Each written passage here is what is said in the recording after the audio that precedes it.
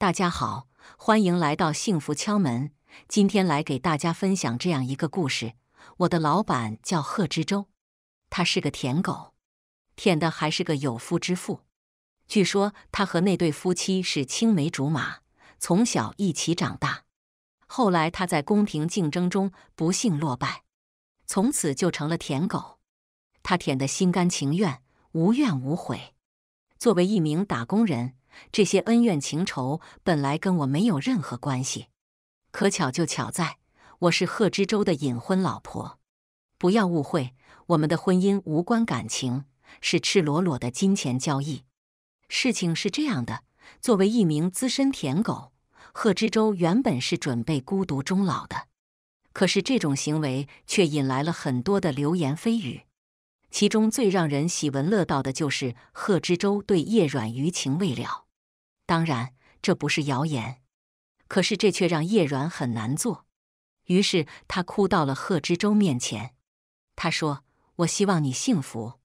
如果因为我的存在而导致你不幸福，以后我们就不要再见面了。不见面，这哪行？”贺知州连忙启动应急预案，他说：“其实。”我已经有喜欢的人了，叶软不相信，觉得贺知州是在骗他。他质问：“如果你真的有喜欢的人了，为什么要隐瞒？”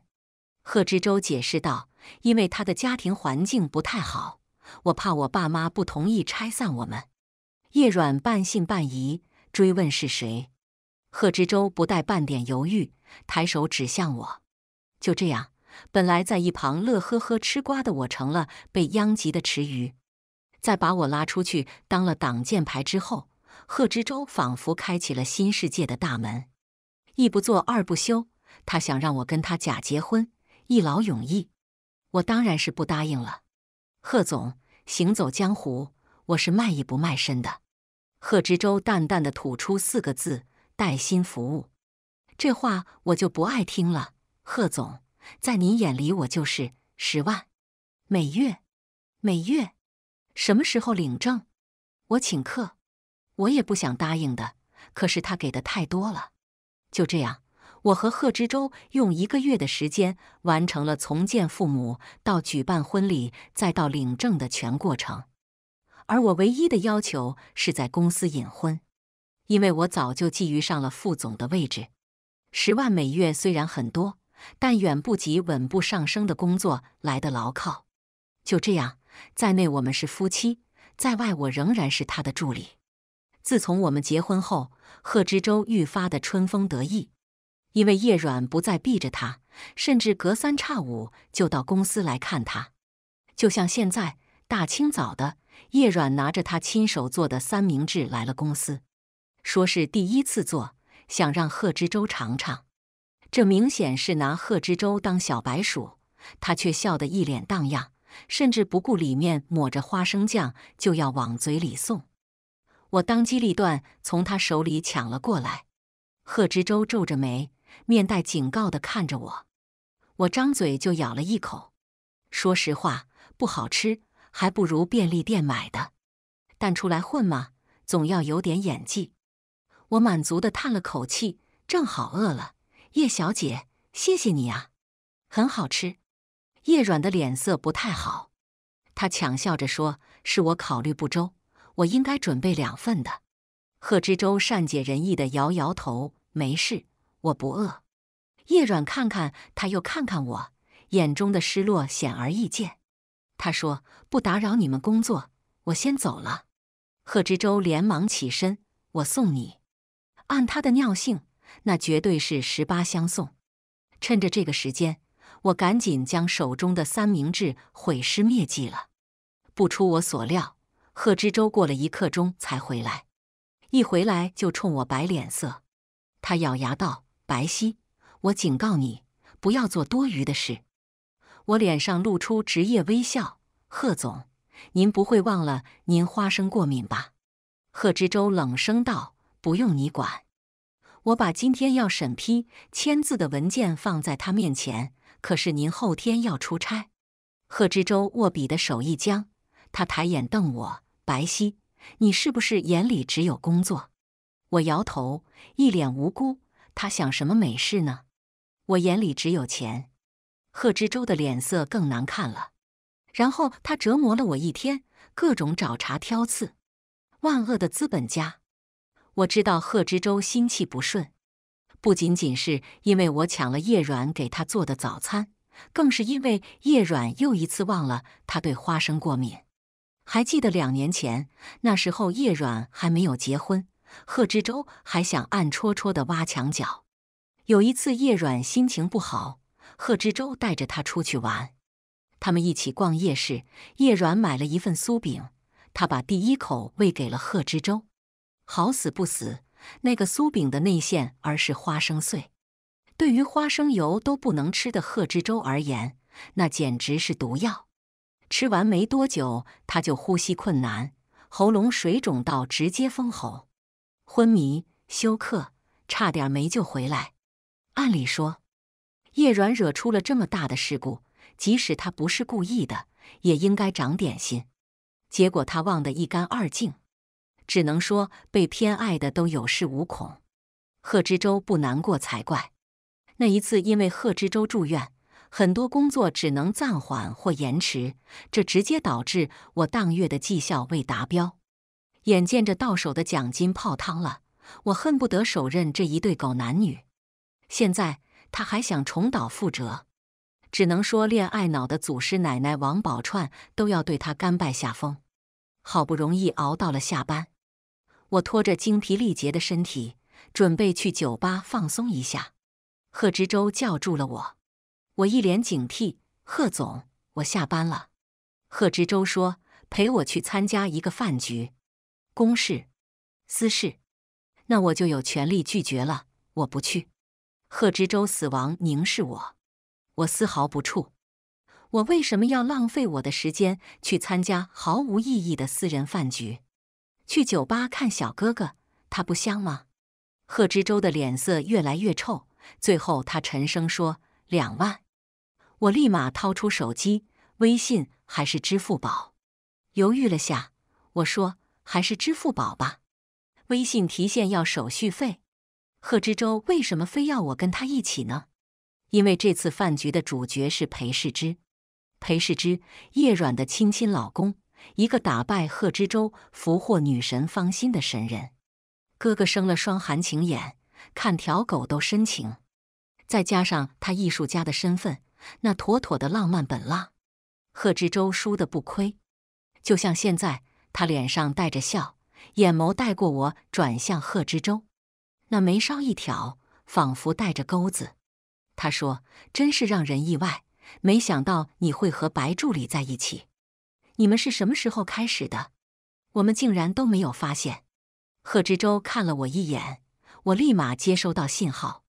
我说：“我的错，我不想因为我们的关系影响到我在公司的工作，所以就让他隐瞒了。”叶软挽着裴世之的胳膊，他满脸娇俏。是啊，要不是我追问，现在我们都还蒙在鼓里呢。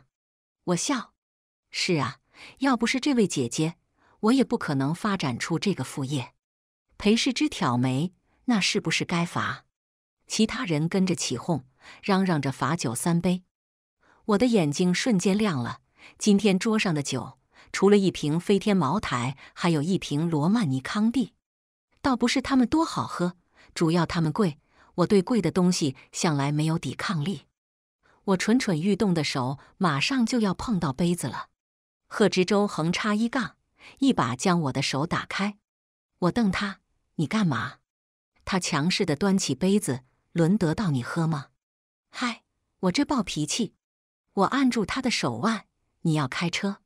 贺知州瞥我，都说让你学开车了。我摇头，我害怕。贺知州冷哼：“没出息，没出息就没出息吧。所以还是我来喝吧。”贺知州却拉开我的手。狠狠按住，我是请不起代价吗？说完，他将杯中酒一饮而尽。我的心在滴血。这一杯小一千呢？周围却是一片酸溜溜的声音。咦，爱情的腐臭味！不要这样吧，大庭广众下虐狗，求求你们了，给单身狗一条活路吧！我满脸疑惑。发生了什么了不得的事情？叶软满脸复杂，他笑着说：“你们感情真好。”我立马谦虚：“比不上你们。”话音刚落，我的手就被狠狠地捏了下。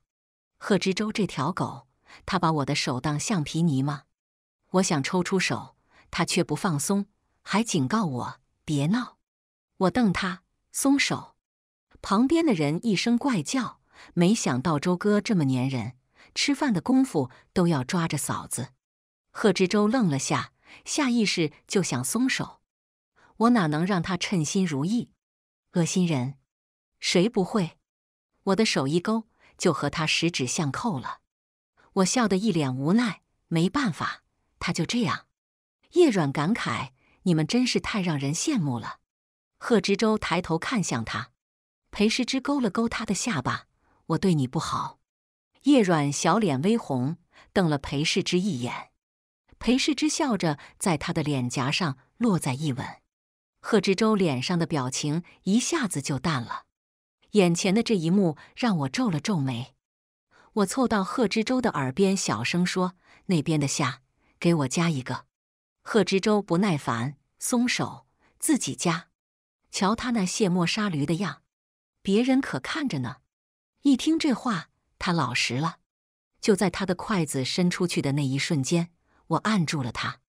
他疑惑地看着我，我不高兴地说：“你不知道自己花生过敏吗？还加这个？”贺知州皱眉：“什么花？”我截住他的话头，颇为心累地说：“拜托你自己也上上心。要是哪天我不在你身边，你不小心误吃了，你让我怎么办？”贺知州怔怔地看着我，我冲他微笑了一下。这话我是说给叶软听的，他明显听进去了，以至于饭局的后半程都魂不守舍。而贺知州却喝得畅快，举杯换盏，谈笑风生，同时还能分身看顾我。每当我蠢蠢欲动，想要喝一杯的时候，他就会先发制人，按住我。喝一杯就一杯，一杯，一口都不行。凭什么？凭你慢性胃炎？我很无语，真小气。我不就是因为一次胃疼延误了飞机吗？后来也没有耽误事儿啊，怎么记到现在？饭局结束，毫无疑问的，贺知州喝醉了。他酒量本来就浅，第一杯喝的那么急，就注定了最后的结果。裴世之牵着叶软的手，他说：“我们先送你们回去吧。”我连忙拒绝：“不用麻烦，代驾已经在外面等我们了，让你送。”贺知州不得手刃我，看着微微依靠在我身上的贺知州，叶软一脸担心。他叮嘱道：“白皙，知州每次醉酒都会偏头痛，麻烦你照顾了。”这话说的不仅是我。就连裴世之的表情都淡了，我也不知道叶软这是什么骚操作。等到他们离开，我动了动肩膀，站好，重死了。别以为我不知道他在假装意识不清。果然，下一秒他就站直了身体，摇摇晃晃的往外走，真是中华田园狗。我跟上他，揶揄道：“你这顿醉酒值了，白得了叶软的关心。”今天做梦还不得笑醒。贺知州看了我一眼，冷哼一声：“臭屁的不行。”等到我们上车，他死沉的脑袋压在了我的肩膀上。得了，这回是真的了。最后在代驾小哥的帮助下，我才得以成功将他搬运回去。哎，两万块钱也不是那么好赚的。结果第二天早上醒来，他又眼睛不是眼睛。鼻子不是鼻子了，还瞪我，你又怎么了？我很无奈。贺知州咬牙，昨天晚上你就把我丢沙发上，那不然呢？我感觉不可理喻。你一米八的大高个儿，两百多斤的体重，我是能把你叠吧叠吧揣兜里送房间里去。贺知州的脸色一阵青一阵白，那你好歹给我一床被子。嗯，有点尴尬，我忘了。板蓝根，喝吗？哼！贺知州气势汹汹的走了。我以为这件事就这么结束了，结果他拿着个体重秤又返了回来。迎着我疑惑的目光，他把体重秤放在我面前，然后站了上去。下一秒，他掐着我命运的脖颈，将我按到他面前。他咬牙切齿地说：“你给我看清楚了，二百斤，你知不知道那是什么概念？”我看着下面的数字，陷入了沉默。男人，你多少是有点胜负欲在身上的。突然，平地一声惊雷：“贺知州，你在干什么？”来者不是别人，正是贺知州的亲妈妈。我的假婆婆，甚至来不及换鞋，她就冲了上来，一把掀开贺知州的手。你干什么？你是不是欺负小希了？贺知州很无语。我挽着他妈妈的手，一脸委屈。我就是说他长胖了点儿，他就生气了。白皙，贺知州瞪视我，我无所畏惧，因为他妈绝对是站在我这边的。他抬腿就踹了贺知州一脚。长本事了，你还瞪人？长胖怎么了？你现在结婚了，不就应该长胖吗？贺知州无语凝噎，最后负气而去。小希，你别跟他一般见识，他就是这狗脾气。看着贺知州妈妈有些担忧的神色，我连忙安慰妈：“没事，我们闹着玩呢。”贺知州妈妈松了口气，那我就放心了。我和贺知州的妈妈有着深厚的革命友谊，对他而言，我是把他儿子从叶软的魔爪中拯救出来的英雄。在贺知州把他要和我结婚的消息告诉他家里后，他妈恨不得当天下午就拉着我们去扯证。后来他告诉我，他是怕贺知州反悔了。他说他以前挺喜欢叶软的，后来叶软没有跟贺知州在一起，也是他们有缘无分。怨不得谁，可是叶软既然已经做了选择，却还要吊着贺知州，这就让他心生不喜了。本来作为婆媳，而且还是假的，我们不应该有这样的剖心之谈。可是没办法，谁让我们共同见证了一场尴尬呢？那是我跟贺知州举行婚礼的当天，一场很简单的婚礼，只有至亲挚友。举行完仪式，宴宾客的时候。贺知州消失了一段时间，贺知州妈妈陪着我去找，实际上是他拉着我走到一扇虚掩的门外时，我们听到了一段对话，来自贺知州和叶软。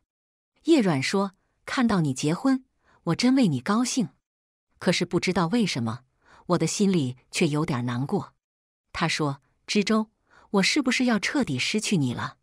他的声音脆弱。仿佛经受了沉重的打击，贺知州妈妈听得脸色巨变，抬脚就想冲进去，被我拦了下来。就在这时，贺知州开口了，他说：“别胡思乱想，我只是结婚而已，什么都不会改变。你听听，这是什么渣男语录？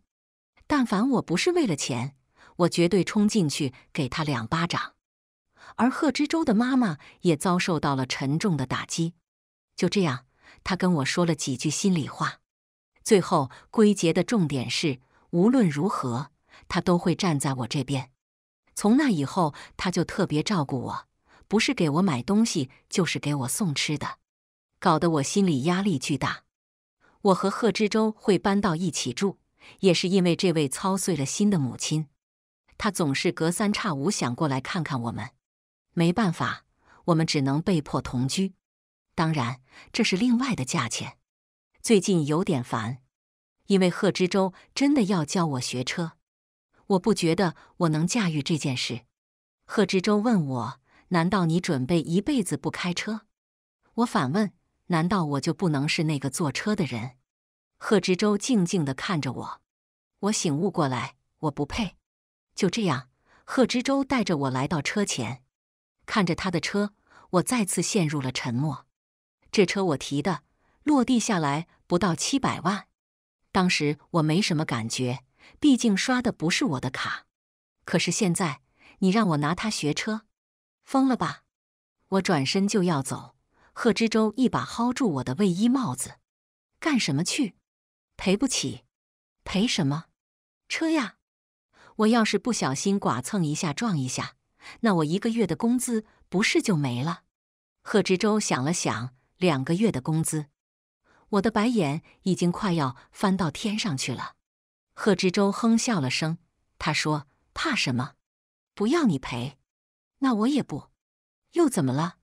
压力太大，我还是去报驾校吧。”贺知州失去了耐心，他啧了声，反手就将我塞进了车里。也不知道是谁给他的自信，讲了十分钟的理论知识，他就让我实践。你是不是不想活了？我真诚发问。贺知州一脸黑线，让你开你就开，哪那么多废话？带着刹车，不要碰油门，把握好方向盘就行了。在贺知州沉稳的目光下，我慢慢的启动了车子。随着车子开始向前，我的整颗心都提了起来。方向盘向左打，一点点，多了多了，回一点。好，停，保持直行。刹车稍微放一放。这也太慢了！刚才我都看到一条狗超过你了。不要把方向盘握那么紧，你是跟他有仇吗？前面右转，记得打转向灯。好，转，打方向盘。转向灯呢？转向灯跟上。好，好，好，方向盘回正。转向灯，转向灯，不是雨刮器。我忍，我忍，我忍。可是贺知州的嘴就跟打开了封印似的，这一路一秒钟都不带停。终于，我忍无可忍了，要么你闭嘴，要么我加速，我们俩同归于尽。第一次上路的经历并不美好。等到结束，我们两个人都沉默了。我说：“我还是去报驾校吧。”贺知州立马尖锐了起来：“你是不是在质疑我的能力？”我摸摸鼻子，没说话。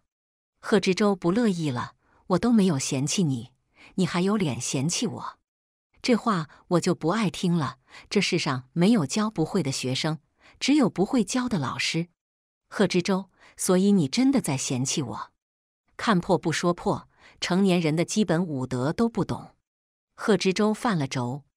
第二天一大早，我正在准备一会儿开会的资料，贺知州拿着一沓四纸摔在了我面前。我疑惑地看着他，他说：“我整理的开车技巧，给你一天时间，你给我熟记背牢。下班我们继续。”我垂死挣扎，我正准备告诉你，叶软刚才给我发消息，说等下班了带你去吃私房菜。叶软说：“我订了一家私房菜，今天刚空运来一条蓝鳍金枪鱼，知州最喜欢了。等下班你和知州一起过来吧。”他知道位置，他嘴上虽然说着让我和贺知州一起，但明眼人都知道他是冲着贺知州来的。作为一个工具人，我肯定不会不识抬举了。我都想好了，等到下班我就去吃毛血旺。结果贺知州说推了。好的，我这就不是你说什么推了？我不敢置信地看着他。贺知州问有什么问题？有什么问题？问题可大了，这可是叶软的邀约。叶软对贺知州的邀约，贺知州竟然拒绝了，不可思议！如果不是建国后不能成精，我都怀疑他被什么东西附体了。你要不再考虑考虑？贺知州皱着眉，一脸不耐烦：“让你办事儿怎么这么费劲儿？算了，我自己打电话。”说着，他就拨通了叶软的电话。他说：“我和白皙下班后有事，不过去了。教他学车，笨死了。行，下次再约。不是，我听到了什么？你拒绝就拒绝，你把我拉出来算怎么回事？我笨，我白皙全公司公认的大聪明。你说我笨？”贺知州仿佛看出了我的内心，他冷哼一声，开口道：“不服气。”有本事你上路别扭，给我开出一条直线出来。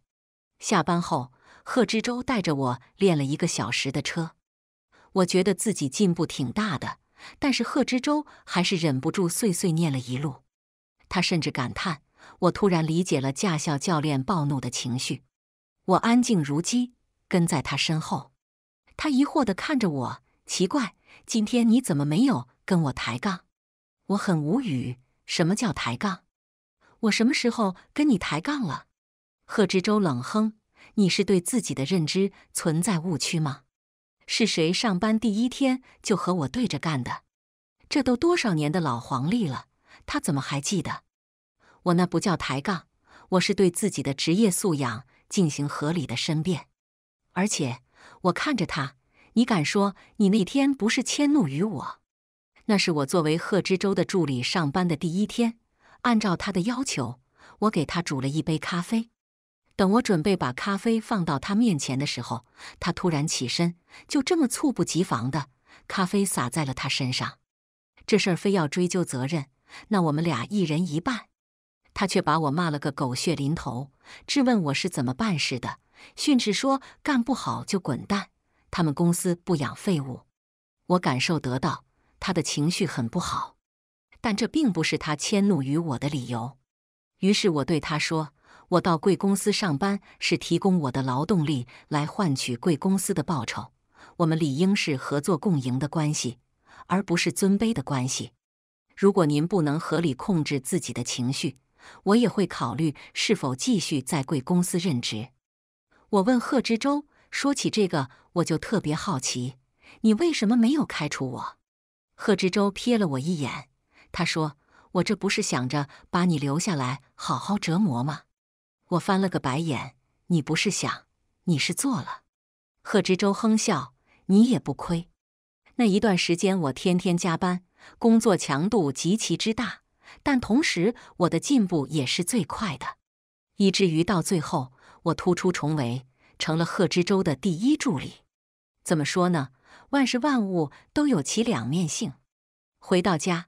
贺知州问我想吃什么，说起来，这还是我们第一次在家吃晚饭。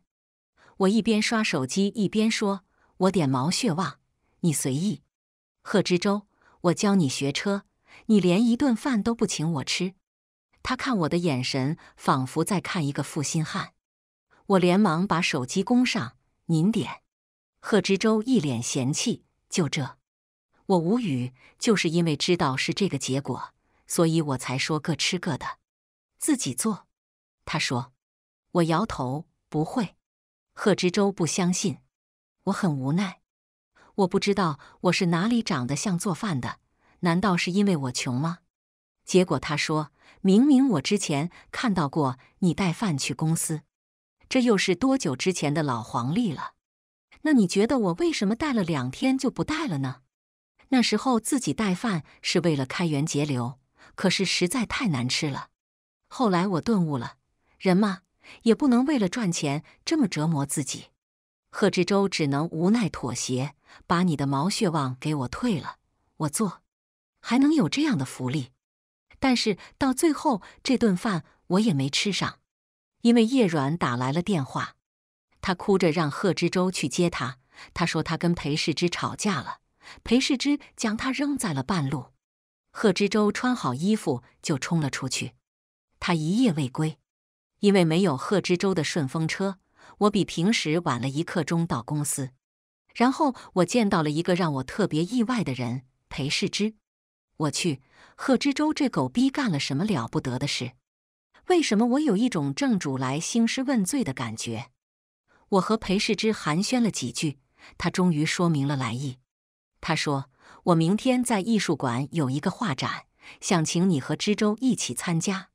不不不，他绝对醉翁之意不在酒，哪里还麻烦你亲自送过来？他揉了揉眉心说：“我从工作室出来，刚好路过这里，我这才注意到他脸上明显的倦意，所以他彻夜未归，根本不知道贺知州和叶软在一起。对了，知州呢？你们怎么没有一起过来？”我他有点事，一会儿就到。裴世之也没有追问，他点点头说：“那我先走了，明天在画展等你们。”好的，我们一定准时到。裴世之一离开，我立马拿出手机给贺知洲通风报信。裴世之正在回去的路上，可是他却丝毫不感念我的恩情，到了公司还给我摆脸色。你什么意思？什么什么意思？他咬牙：“你给我发的消息什么意思？我很无辜，我这不是提醒你，怕你被你捉奸在房吗？他双眼冒火，你是不是想说床？他说：“你以为我昨天晚上在哪里睡的？”贺知州，我在酒店睡的。你是不是不相信？你果然不相信，随便你，爱信不信。要不是你神经衰弱，我担心回去吵着你，我会去酒店，那里的床睡得我难受死了。结果你还不信？哼，白眼狼！贺知州的精神状态真是越来越不稳定了，有点担心。今天有一个饭局，按照惯例我陪他去。其中一个老总带着自己的儿子，估计是为了培养继承人。那小子看我的眼神不太对，轻佻不尊重。我没在意，可是没想到他竟然会趁着我出去结账的功夫堵我。听说你是贺知州的助理，那一个月能有几个钱？还不如跟着我，我绝对不会让你吃亏。瞧瞧这话说的，金主文看多了吧？但是就凭他这平凡的张姓，就注定他当不了霸总。张少，您说笑了。您忙，我还有事儿。说完，我推开他就要回去，他却一把搂住了我的腰。我沉下脸，这大庭广众的，真是给了台阶不知道下。就在我准备叫保安的时候，贺知州突然出现，他的脸色阴沉的吓人，抬脚就将那二世祖踹了出去。他把我拉到他身后，没事吧？我摇摇头。二世祖是个没头脑，还戏谑着让贺知州把我让给他，说条件好商量。他的话瞬间激怒了贺知州，我一个没拉住，他就窜了出去，对着二世祖就是一阵拳打脚踢。外面的动静很快吸引了包厢里的人，他们冲了出来，终于将单方面武力压制的贺知州拉住了。而二世祖已经疼得嗷嗷叫了，这是怎么回事？发生什么事了？贺总，这孩子哪里惹着你了？贺知州双眼冒火，他欠揍。我上前按住他的手，贺知州僵了下，安静了下来。张总，今天咱们聚在一起是为了谈合作。如果张少只是想要包养，我想我们就没有谈下去的必要了。回去的路上。贺知州质问我：“为什么没有第一时间向他寻求帮助？”我说：“即使你不来，我也会叫保安，事情同样能够解决。反而是你，今天你冲动了。”贺知州不敢置信地看着我：“你说什么？”我目不转睛地回望他，我说：“你冲动了，白皙，你不识好歹。”我和贺知州陷入了冷战，他觉得我不识好歹。我也确实不识好歹，因为我感受到了他的动摇和他的情感偏移，这不是我想看到的。他喜欢叶软，就理应一条道走到黑。我不需要他抽出那一点点不值钱的感情转移到我身上，我不接受。他就应该像现在这样，在叶软受到委屈的时候拦在他身前。今天是裴世之的画展，也是他跟大家辞行的日子。他又要走了，叶软好像刚知道这个消息，脸色瞬间煞白。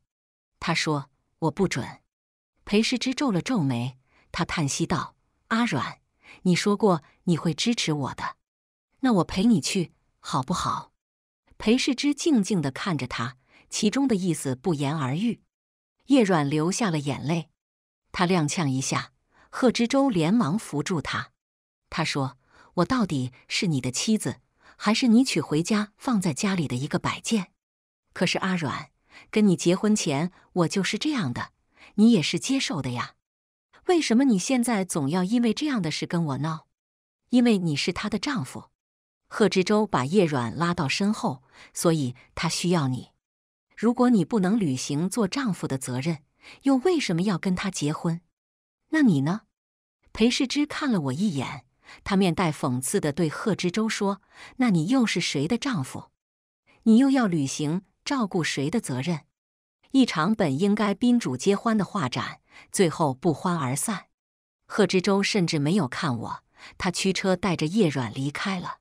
裴世之问我：“你不介意吗？”我反问他：“你不介意吗？”裴氏之笑，语气里都是笃定，他不会离开我的。我耸耸肩，不置可否。这世上总是有那么一些人，他们仗着别人对自己死心塌地，就随意作践，挺没意思的。我和贺知州冷战了五天，第六天我请了一天假，我去了孤儿院一趟，把采购的物资送了过去。十点多钟的时候，我接到了安妮的电话，她的语气委屈的不行，太可怕了。贺总的脸色冷了一天，我感觉我随时都有可能被扫地出门。白姐，你什么时候回来呀？你一走，我们都失去了主心骨。我哑然失笑。他上班的时候不就是面无表情吗？你做好自己的事就行了，怕他干什么？不不不不不，我们跟你不一样。刚才刘总进去找贺总签字，都做了一系列的心理准备，更何况我们。我无奈的打断他：“别贫嘴了，说吧，有什么事？刚才万汇的周总又来催货款了，这是需要告诉贺总吗？不用理他。”当初安排的货里面，四分之一都是他在清库存，真以为我们好欺负？告诉他在走流程，只能等着。我们也很着急，没办法，相互体谅。他要抱怨发火，听着就行；再闹，就让他跟我联系。好的，知道了。中午的时候，安妮又打来了电话，她说她按照贺知州的吩咐冲了咖啡。结果他看了他一眼就给倒了，我好害怕呀，白姐怎么办？我很无奈。我不是跟你说了吗？不管他要什么，中午给他牛奶加两块方糖。可是，可是贺总说他要喝咖啡，那他喝了吗？没有。所以听我的。二十分钟后，安妮给我发了条消息。我把牛奶端进去的时候，贺总问我是不是给你打了电话。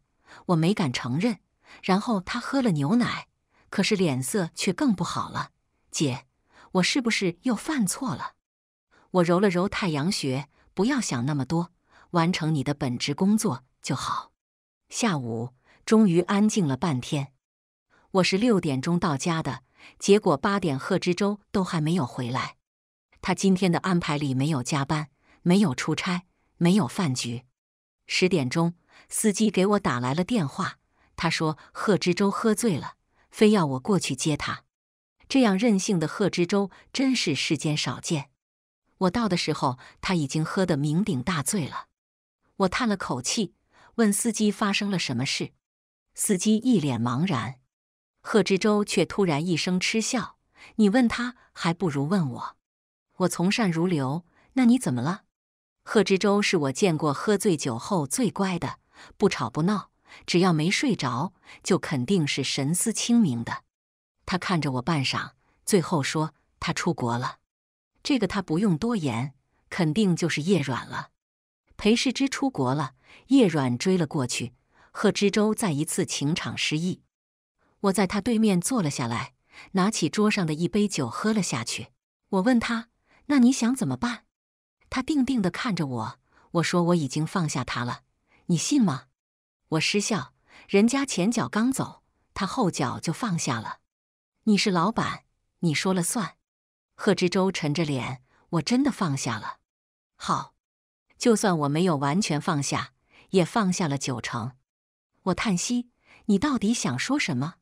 贺知州垂下眼眸，他语气轻飘飘地说：“我就是告诉你一声，那一夜我们都喝了很多，不仅他醉了。”我也醉了，叶软的离开似乎对贺知州没有造成任何影响，又似乎有很大的影响。他照常工作，照常生活，继续教我练车，还是会骂我，只是骂我之余也会别扭的夸我有进步。他还亲自下厨给我做饭。我问为什么会做饭，他说这是打发闲余时间的乐趣。我听得咯咯直乐。有钱人的乐趣真是和普通人的不一样。贺知州瞪我，开口却问：“那你怎么打发闲余时间？”我耸耸肩：“我没有闲余时间。”那如果有呢？可是真的没有吗？贺知州一脸憋屈：“你看不出我是想约你出去吗？”贺知州很俗套，他约我去看电影，还是一部爱情片，很俗套的剧情，很腻歪的台词，我看了一半就睡着了。电影结束，贺知州臭着一张脸，生起了闷气。我好笑的看着他，走，带你去玩。等我买了三百张思奖卡，递到贺知州面前，他满脸的不敢置信。就这，我点头，就这。当然还要配上可乐和炸鸡。我们坐在家里的地毯上，贺知州一开始满脸的不情愿，直到我撕出了一张一百的，他突然就被激起了胜负欲。你等着，我肯定比你多。我甩给他一个白眼，这是运气问题，你凭什么肯定？他吃了声，凭我是你老板。哼！我洋洋得意地摇着手里的奖券，你看。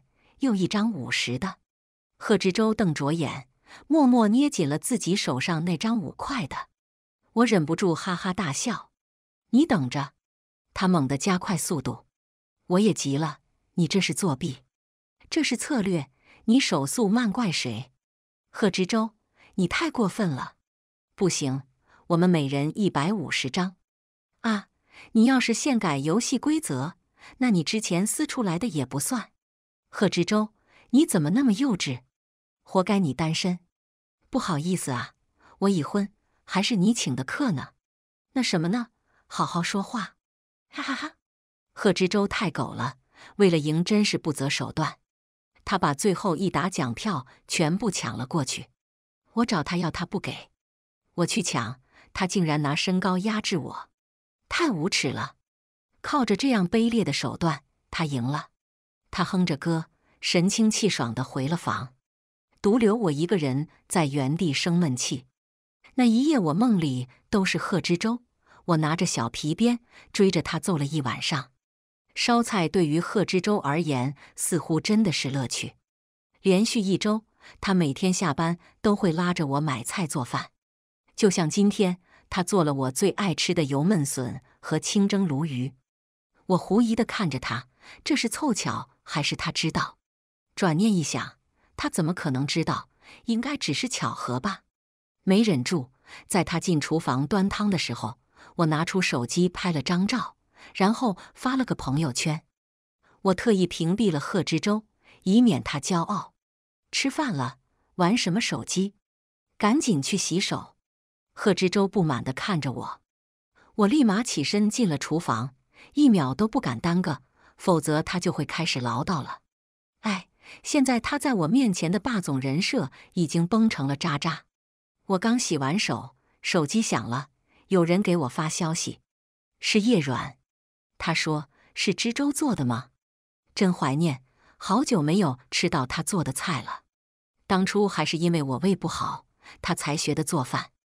我看了眼外面忙碌的贺知州。他身上的松快和温和是肉眼可见的，没忍住，我给叶软回了条消息：“叶小姐，所以你是在挑拨离间，外加炫耀吗？”叶软不是第一次给我发这样似是而非的消息，之前我甚至还会递到贺知州面前调侃他，这是我第一次回对他。对面良久都没有回复，过了一会儿，贺知州的电话响了。看到来电提醒，他迟疑了一会儿，最终还是接了起来。不用想，我都知道电话那头是谁。这还没怎么的，就开始打小报告了。通话间，贺知州转过头看了我一眼，眉头微蹙，然后又转了回去。我顿时意兴阑珊，看来这顿饭是吃不了了。就在我穿好鞋子准备出门的时候，贺知州拉住了我：“不吃饭，你去哪儿？”我说：“出去吃，饭菜都做好了，都是你爱吃的，为什么要出去？”我看着贺知州，半晌开口道：“贺知州，你到底想干什么？”贺知州皱眉：“你指什么？”说实话，我有点不耐烦了。贺知州，最近你做了很多多余的事儿，但是我默许了，因为你说你要放下叶软，所以我觉得我们是奔着同一个结果去的。但如果你要在这里跟我装什么都不知道，那就当是我自作多情了。以后咱们做好自己的本分。还有，我确实给叶软发了消息，质问他是不是在挑拨离间。他的把戏，如果你非要说是我多想了，那就是你对。最后，我不当工具人。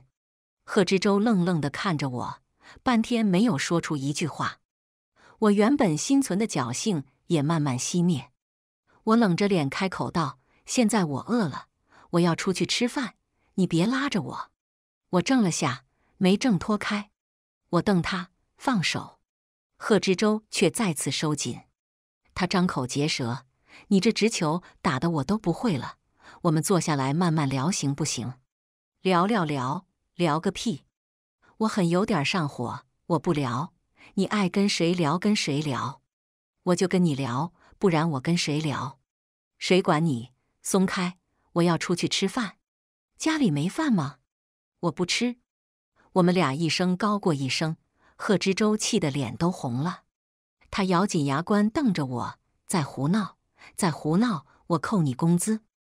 我气喘如牛的回瞪他：扣？谁不扣谁是孙子！贺知州深吸了一口气，我以前怎么没有发现你这么气人呢？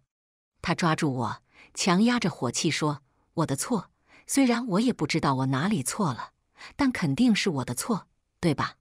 可是判死刑也得给人一个申辩的机会，不是？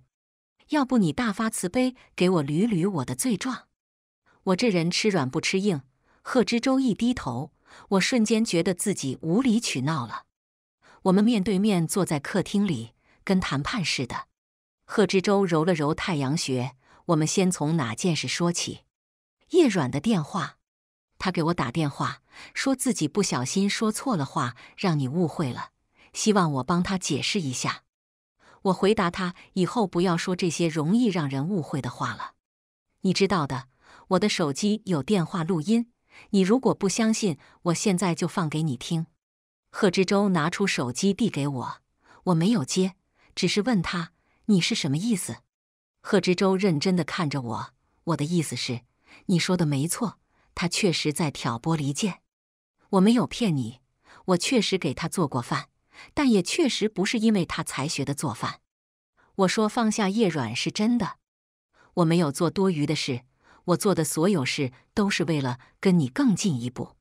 所以，关于你说的装糊涂，我只是想找个更正式的机会向你表白。表白什么？我问。表白我们是否可以中断金钱交易，成为真正的情侣和夫妻？我静静地看着贺知州。所以你的意思是，你表个白，我每个月损失十万？贺知州看着我的表情逐渐扭曲。姓白的，我给你一个机会，重新组织语言。我连忙站起身，好了，我饿了，吃饭吧。贺知州拉住我，就这。我无辜的眨眨眼，那不然呢？贺知州说两句好听的，我上交工资。我拍拍他的肩膀，做人不能太贪，知足常乐。我和贺知州既没有玩弄感情的爱好，也过了玩弄感情的年纪，所以很多事是一种默契。如果没有叶软。我们可能还要用更多的时间才会捅破，或者干脆顺其自然不捅破。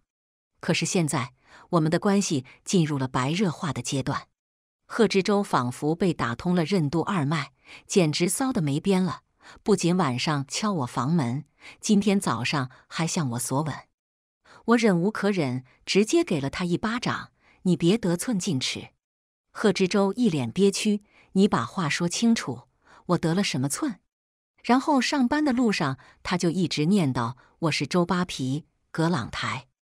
关系的转变给我们带来的最大影响，其实是工作。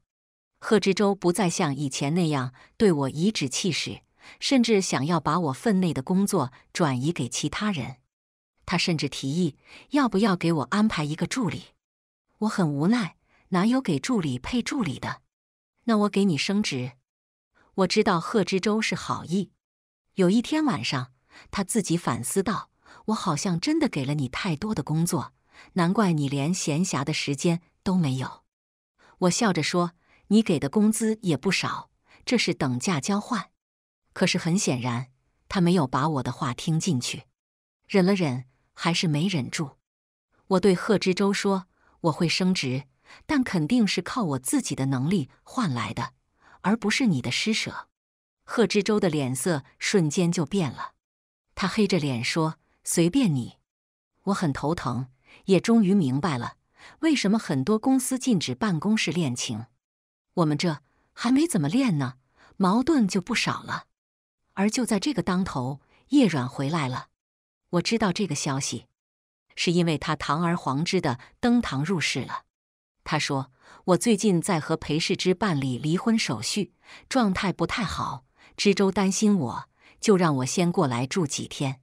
白皙，你不会介意的吧？”我看着叶软，他眼眸中的得意丝毫不加掩饰。那如果我介意呢？叶软愣了下，他无奈地说：“白皙，你应该明白的。”知州会跟你结婚，其实是因为我。现在我要离婚了，你觉得他会选择谁？怎么说呢？诸葛亮不愧是先贤，我也是真的没见过如此厚颜无耻之人。叶小姐，你也是真的一点都不担心伤害他呀？叶软表情复杂。白皙，我和知州之间的羁绊不是你能明白的。我确实伤害过他，所以我会用余生弥补。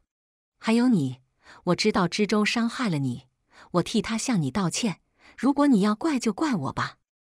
我忍不住失笑出声。说实话，我不相信你。我拿出手机，准备拨打贺知州的电话，却发现上面有将近一百通的未接来电，全部来自贺知州。我这才想起，我一早上都在忙着收拾书房，根本没注意手机。在我愣神的时候。电话又响了，还是贺知州。他低沉着声音说：“等着，我马上就到。”说话间，外面传来了停车的声音，接着是大步走进来的贺知州。知州，叶软叫道。贺知州却沉着脸越过了他，他瞪着我：“一百七十三个电话，姓白的，你真是好样的。”最近贺知州养成了一个习惯，每次不高兴，他就称呼我为姓白的。因为他说“白皙”两个字不足以表达他的情绪，可是他有什么可不高兴的？被逼宫上门的可是我，我对着他的小腿就踹了一脚。解释。贺知州深吸一口气，转身面向叶软，他说：“这房子本来就在你的名下，如果你想住就住吧，我和白皙会搬出去。”等等，我听到了什么？我忍不住抬手拧了把贺知州胳膊内侧的肉，他一抖，按住了我作怪的手。行，容后再说。此时叶软的脸色不太好，他凄凄爱爱的看着贺知州：“知州，你真的不要我了吗？你说过的，即使全世界都离开我，你也不会离开我的。现在连你也不要我了吗？”贺知州开口道：“对不起，就当是我高估了自己吧。”叶软摇头：“不是的，是我让你伤心了，是不是？现在我回来了，我们重新开始，好不好？”叶软，我们已经结束了，我已经开始我新的生活了，也希望你不要再来打扰我。叶软的小脸瞬间惨白，他讽刺一笑：“新的生活，和他，你真的爱他吗？如果当初不是为了我，你根本不会跟他结婚。现在你告诉我。”你要跟他开始新的生活，贺知州，你是在自欺欺人。贺知州沉默了。就在叶软好像看到了希望时，他说：“其实有些话你不说出口，我们还能当朋友。这么多年，你已经习惯了我对你好，以至于你都忘了，我的心也是肉长的。当初我决定结婚，确实是因为你的哭诉。我只是突然明白了。”我所谓的坚持，对你我而言都是困扰。我决定结婚的那一刻，就是我决定放下的那一刻。只不过我还需要一个放下的过程。叶软，你始终不了解我。如果我说了要放下，那我绝对会放得彻底。我从来不是含糊不清的人。这么多年，我拿过谁来疗愈你给我造成的伤害吗？我会想要和白皙开始新的生活。只是因为我爱他，我惊讶地看着贺知州，这是我第一次从他嘴里听到这样的话。别说，挺感人的。只是对我表白，为什么要看着叶软？叶软红了眼眶。那他呢？他爱你吗？你以为他为什么要跟你结婚？不过是因为他受了你们家的资助，想要报恩罢了。我满头问号。他又知道了。不过他这倒真是有备而来。贺知州回头惊讶地看着我，我无辜地摸了摸鼻子。结果贺知州轻笑出声，他说：“那你真是高估他了。他最多有一分报恩的成分在，剩下的九分肯定是因为我给的太多了。”一场闹剧轰轰烈烈的来，悄无声息的结束。叶软离开的时候，仿佛遭受了巨大的打击。我凉凉的问：“不去送送？”贺知州瞥了我一眼：“不用考验我，我说了，放下就是放下。你不相信我吗？”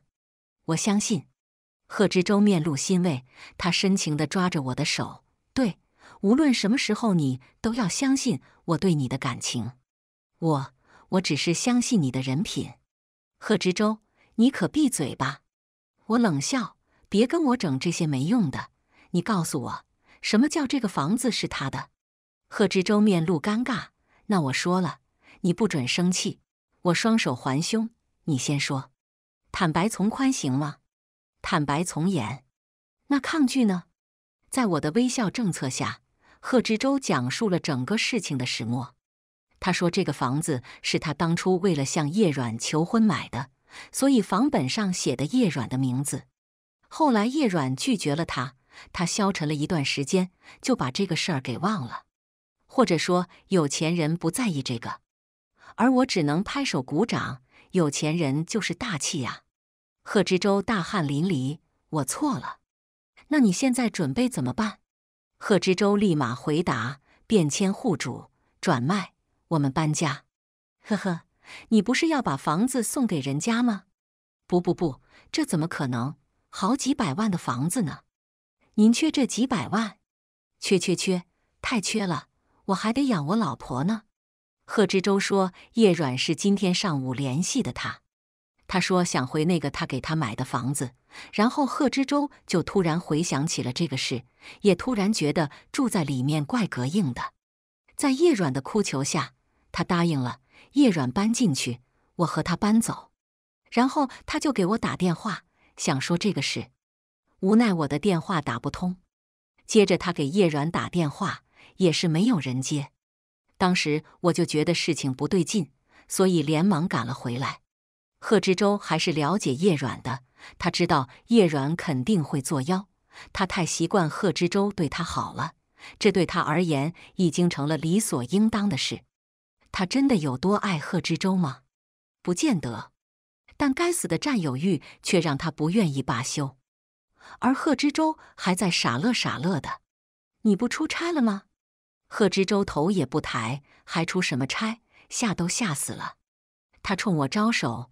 你快过来看这些装修风格，你喜欢哪一个？我走过去，趴在他肩膀上，我问：“预留婴儿房了吗？”贺知州身体僵硬，他的耳朵瞬间红了。他咬牙切齿地说：“你又不让我碰，还要撩我？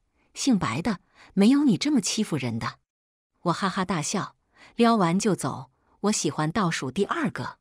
身后是贺知州气急败坏的声音。叶软和裴世之最终没有离婚，裴世之哄了两句，他就跟他走了。白皙哼哼的调侃我做了一个正确的选择，不然又该情场失意了。我很无奈，这是在秋后算账吗？我立马摆正态度，什么叫选择？没有选择，你就是我的心之所向。白皙对浪漫过敏，我的表白对他没有任何作用。他说：“是吗？”当初结婚的时候，你不还对他说，只是结婚而已，不会对你和他造成任何影响吗？我一脸茫然，我什么时候说过这样的话？白皙翻了个白眼。婚礼现场演宾客的时候，你不见了，不就是去私会叶软了吗？你妈也听见了，你不会不承认吧？这冤枉啊！我真的没有说过这样的话，我也没有单独见叶软。那时候我在天台吹风，你要是不信，我们调监控。我是不会告诉他，我那天是因为太激动了，有点上头，不得不去天台散散热。其实选择和白皙结婚的原因挺复杂的，我自己都说不清道不明。我以为我跟他的婚礼会很平淡，可是当我看到他穿着婚纱向我缓缓走来，我突然就有点上头，就是那种好像 CPU 都要烧了的感觉，太刺激了。我的解释白皙信了，他就这点好，但凡是我说的，他都信。可能是真的太相信我的人品了吧。我也不知道我是该高兴还是该难过。除了秋后算账，我和白皙的感情还出现了很大的危机。主要原因是他想调任徐成，而我不同意。我一直都知道他的职业规划不仅仅是我的助理，他想要更大的作为。老婆的职业心太强，怎么破？无解。所以对于他的调职申请，我只能拖着。我知道是我自己太没安全感了，真讽刺，没有安全感这个事儿竟然有一天会出现在我身上。可是没有办法，我就是害怕。他问我：“你觉得我们的感情敌不过五个小时的车程吗？”我反驳：“怎么可能？”但我心里想的是，还真说不定。毕竟他对我的感情好像时浓时淡的，他心情好了逗我两下。心情不好了就油盐不进，我能不患得患失吗？我甚至都考虑要不要让他揣个崽，可是凭他那热爱工作的劲头，我觉得崽也束缚不了他。今天他约我去吃烛光晚餐，我觉得是鸿门宴。他依旧喜欢打直球，他问我：“你不让我去，是不是不相信我对你的感情？”没有，呵，亏他还知道。白皙好像看穿了我，他一脸无语，然后从手提包里掏出了一个小本本，是驾照。我一脸惊疑：“你什么时候考的？我怎么不知道？”白皙说：“你看仔细了。”我仔细一看，初次领证日期八年前。一时间，我的脑子有些不够用了。你真当我不会开车吗？骗你的。为什么？你觉得呢？我觉得。我觉得他爱死我了。他又说：“你真当我什么钱都赚吗？”他果然爱死我了。在他的一番操作下，我稀里糊涂的就在调职书上签了字。等我反应过来的时候，他已经卷着铺盖行李跑了。有种上当受骗的感觉，怎么办？我当晚就开车赶了过去。等我在酒店都快睡着的时候，他才回来。我一下压住他，老实交代。你是什么时候喜欢我的？白皙丝毫不怵。你先交代，你是什么时候喜欢我的？哎，我感觉我的爱情就是一场拉锯战，谁让我老婆有超强的胜负欲呢？可是我好喜欢，哈哈。好了，这个故事就和大家分享到这里了，感谢大家观看。